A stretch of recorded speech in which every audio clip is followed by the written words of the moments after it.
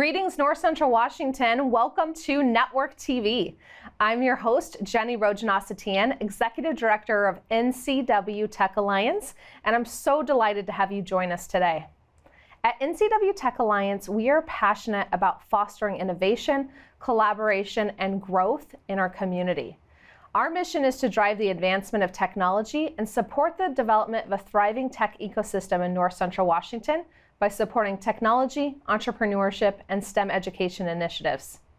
Today, I'm welcoming back two of our previous guests, Dr. Sue Kane, Director of STEM Initiatives and Strategic Partnerships, and Pete Phillips, Executive Director of Technology at the North Central Education Service District. I've asked Sue and Pete to come back on air to dive into what's new with the North Central Education Service District and to learn more about this year's annual STEM Summit STEM Summit, which is fully back in person for the first time since the pandemic. Before we bring our guests on air, I'd love the chance to briefly introduce both of them to you. Dr. Sue Kane brings a wealth of knowledge and experience to the table. With a background in molecular biology and a PhD in biological sciences and infectious diseases, she's used this background to advance STEM education across the region. She's been recognized locally as well as across the state through her appointment to the uh, STEM Innovation Alliance by Governor Inslee. Her commitment to shaping the future of education and supporting STEM initiatives has created a wide impact across the region. Pete Phillips serves as the Executive Director of Technology at the ESD. He has an extensive background in engineering design and technology design education. Pete has been instrumental in his career with empowering students and educators with the tools and skills needed to thrive in the digital age. His years of service at the ESD, compared, coupled with his active involvement in organizations like NCW Tech Alliance, really show his commitment to growth across the region. Together, Dr. Sue Kane and Pete Phillips are going to share their insights, experiences, uh, what's happening in technology education, as of course, what's happening with the STEM Summit. Get ready to be inspired and learn all about their work in the episode ahead. Don't go far. We'll be right back on air on NCW Life Channel.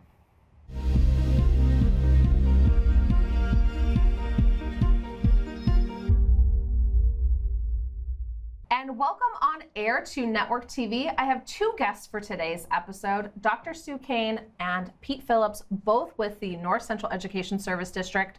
You guys are regulars at this point. Yeah. So welcome back on air. Yeah, like old times. Like old times. It's been a minute though. It has been a minute. And I feel like the last couple times I've had both of you on air, we were still very much in a pandemic uh, environment where a lot of things were shifting online. There was more Mm-hmm. virtual experiences.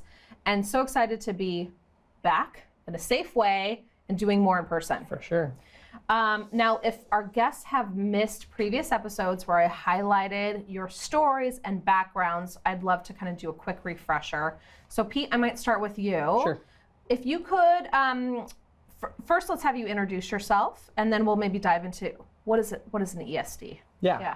Perfect. Um, I'm with North Central ESD. I'm the technology director there. I've been there for a long time. I came out of uh, K 12 education back in the day, but uh, right now my current role is uh, really around STEM and instructional technology. And uh, as we enter into all things new technology, so just providing uh, resources for our teachers and our staff and our districts to continue down this ever changing technology road that they're faced with every day in the classroom. And it's it's changing fast. It is changing every day, as Yeah. we all know. We Yeah. were just talking about all Threads. the all the stuff on yeah on our phones. Yeah. New stuff. Yep. And Sue, how about you? So I am the Director of STEM Initiatives and Strategic Partnerships for the North Central Education Service District, which is a mouthful. Yes. Um, but that is a role where I get to play in that interspace between our K-12 and higher ed and industry and uh, put together the types of partnerships that we need uh, for youth to find their future career paths. Um, there's a lot of STEM, a lot of technology uh, skills uh, that they need along the way. And so I get to work on the development of those regional partnerships to make that possible. Now, STEM is something that is really become part of the vocabulary in the education system, I think in the nonprofit, but there are still some people who uh, perhaps their kids have been out of school a long time, don't really know what STEM means. Sue, can you break that down? What what does STEM mean? Yeah, so we've been working actually on STEM education for the last seven years, and it was a really frequent question in the beginning: What is Yeah. STEM? And people thought maybe we worked on stem cells. That's not true. Yeah. Um, but STEM is science, technology, engineering, and math. And really, it's not a um, ingredients list necessarily. It's really the magic is when those things are integrated. And I like to use the analogy of packing a bag for the future because I'm working on uh, building futures for young people. And um, if we pack science, technology, engineering, and math into a young person's backpack, we have them best prepared for a variety of, of futures. So, students that have STEM education experiences um, have more opportunity after uh, their formal education. Um, they're more likely to go to uh, college and career and have resiliency. We saw that in the pandemic. Um, individuals who have STEM literacy uh, were more likely to come out uh, okay after the pandemic. And so it's really a matter of making sure that everyone has access to STEM education and the integration of those skills as a way to um, future proof our kids, if you will. And then that backpack of skills that they're building, it does it doesn't mean that they have to then be a- in a STEM career to have benefited from the STEM education process, right? That's right. We've actually done an analysis. So in North Central Washington, um, we find that the significant majority of the jobs that pay enough to support a family require some kind of STEM literacy, and they are not all in research and development or um, you know specific IT roles. Of course, those are. Um, but roles that include STEM literacy, uh, you know, might be in business and um, might be in healthcare, might be in agriculture. Um, we find that that STEM skill set is really essential for a lot of those different types of skills across the sectors. So so even if a parent or an educator someone's watching they go, "Hey, you know, my student wants to be an artist or they want to pursue um, an entrepreneurial path. Their STEM is still an important part of the makeup process and and important in our schools. Yeah. Yeah. Pete, tell me a little bit about um, through the ESD how you've helped support STEM integra- integration across the 29 school districts because you have a massive footprint that the ESD serves. Yes, we do. We have one of the largest geographical areas in the state as far as ESDs are concerned. And the Educational Service District, there's nine of us geographically broken up. So we're in central Washington. We have our 30 school districts or so that we support, plus or minus with some private schools and charter schools and everyone in this uh, four county region. But um, I love the idea of the STEM literacy, and that's kind of our main goal. But at the ESD, one thing we get to help solve is the STEM literacy of our teachers as well. Okay. So preparing our students for the world of work or that next step, whatever that might be for them, is one part of this. But preparing our teachers to be able to help prepare those students is a huge um, um, issue. It's a huge task that we're trying to help solve. And so that leads us into the second half of this conversation that we're going to talk about today providing professional development to bring those teachers up to speed on all things STEM Yeah. so that they can better prepare students. Mm-hmm.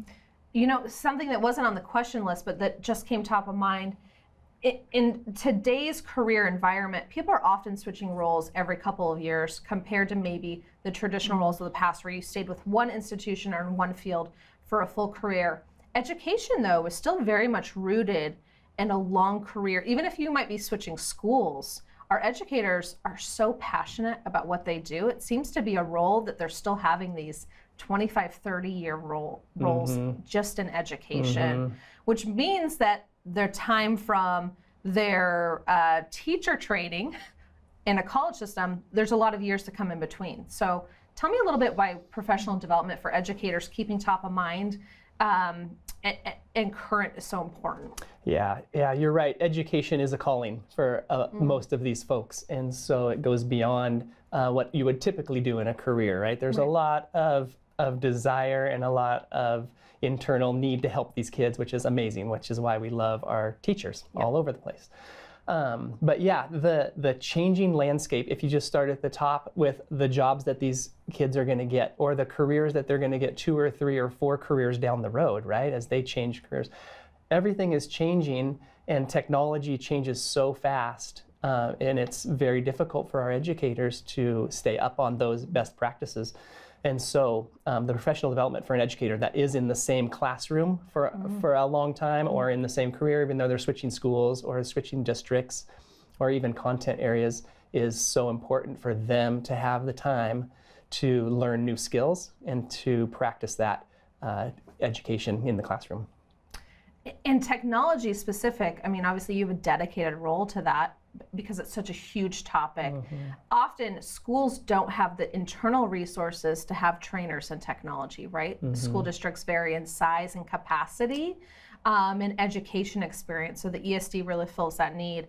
There's some other um, institutions that are helping with uh, technology, and I'm thinking about TEALS specifically. Sue, maybe you could talk a little bit about how organizations like Microsoft have funded programs like TEALS to help technology in schools.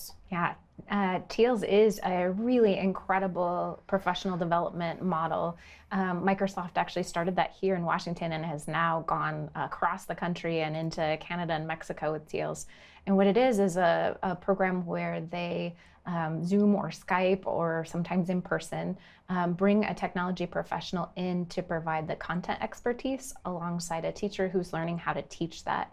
And we've been able to get, um, this is actually the first academic year we just wrapped up, um, computer science into all of our school districts across north central Washington this year. I think we might be the first in the state to have done that. That's huge. It is mm-hmm. huge. Computer science um, across all. And we could not have done it without this Microsoft TEALS program, but it allows um, the teacher to learn from that industry expert for an entire year as they work their way through the computer science curriculum. And then the next year they switch places and the teacher teaches and the expert is there in case they need it. Um, and then uh, after that, they can graduate, and that expert can be called back in whenever they're needed uh, to be able to provide that professional connection for students or content expertise again. And we see a lot of our schools who have done that TEALS program feel bold enough to take on a new topic. So mm. it's really exciting this year across North Central Washington. We have cybersecurity, we have some artificial intelligence, we've got some advanced computer science, software development, and a data center technician program, all expanding from those TEALS courses and those teachers who got really great professional development. Well, it's really exciting that we've seen that success when in 2015, I think it was three school districts mm-hmm. that had computer science. Um, and now, just eight years later, all of them. And that's a huge kudos also to the ESD because it's the ESD providing kind of this source of education and resource, hosting TEALS outreach events so mm-hmm. that they were aware of it. Mm-hmm. Um, this first 10 minutes has gone so fast. We're going to dive into the STEM Summit next, which is the really heart of today's conversation. Don't go too far. We'll be back on air with Sue and Pete from the North Central Education Service District in just a minute.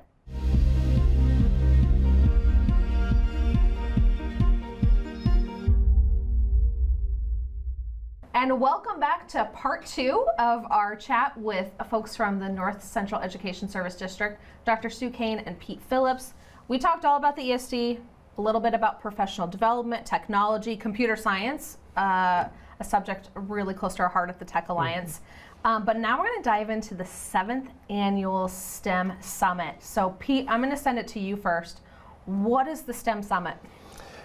This is uh, a capstone event for us annually as mm-hmm. we try to uh, just convene uh, the educators in North Central Washington and around the state. We expand this uh, statewide. 500 educators coming in person, three days full of all things STEM. So we have 100 plus sessions that they can choose from. It's a typical conference type of venue. Uh, we have amazing keynote speakers. Uh, that kick off each day, and um, we take care of them all day. We feed them, and we build them up and get them ready to start their year off. So it's really the kickoff for our teachers to um, get trained up in all things STEM at uh, in Wenatchee at the Convention Center.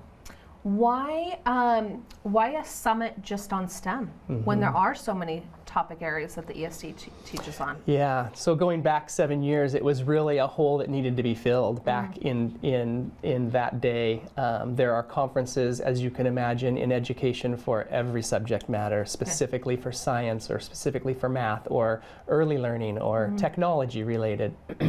but there wasn't anything really that focused on the whole integration of the STEM program. And so we are um, one of the largest STEM summits or conferences in the state still. And uh, our teachers seem to just love that time frame of getting this type of professional development right before they head into the classroom. Sue, I'm going to turn to you a little bit.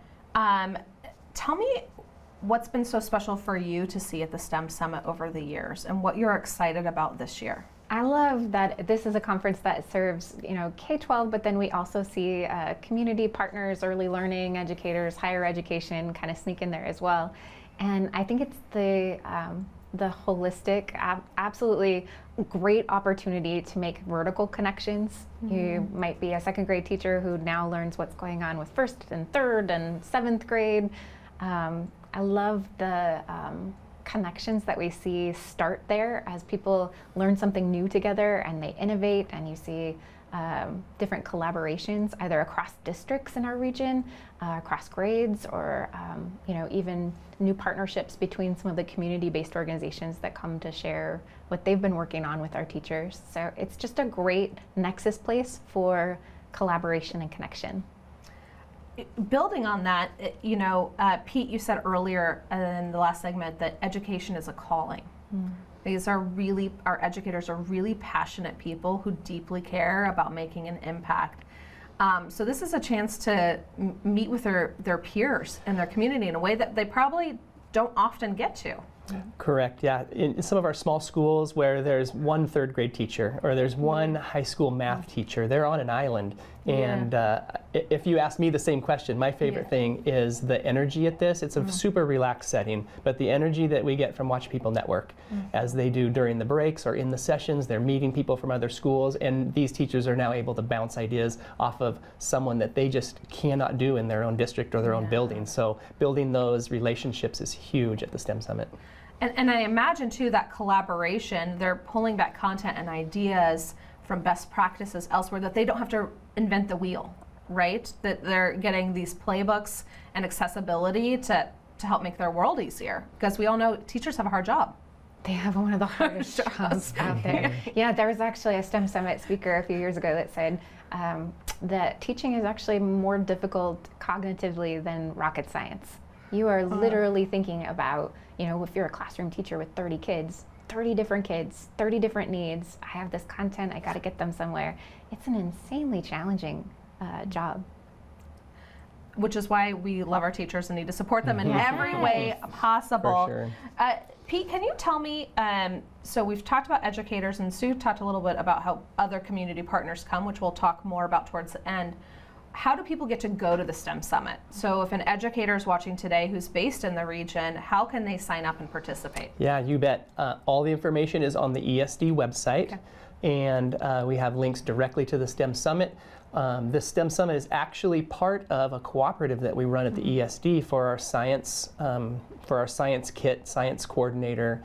Uh, members. And mm-hmm. so those districts, which is almost every district in our ESD, mm-hmm. can attend and send all their staff for no cost. Wow. Um, outside of that, there's a small fee for the three days for, for what we give them, but um, super easy to sign up. It, the registration is open, available uh, right now to pick your sessions and get that all planned out. And so just head to the ESD website and off you go. Perfect. So I'll turn to you maybe to talk about the business integration. Uh, there's two opportunities this year. There's the keynotes that are happening that the business or nonprofit or general community member can attend.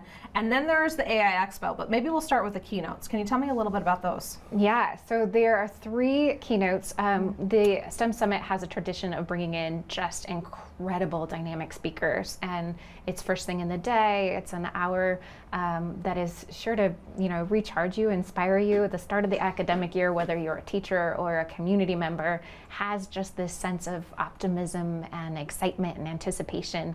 And um, the STEM Summit every year, it's just one of those really neat opportunities. If you're interested in coming and hearing from three incredible dynamic speakers, I know uh, Pete has more details about yeah. you know the specifics of the individuals uh, coming, but um, we are opening that up so that folks who are interested in attending can actually reserve just a ticket for the morning keynote sessions and get in on the inspiration and the start of each day.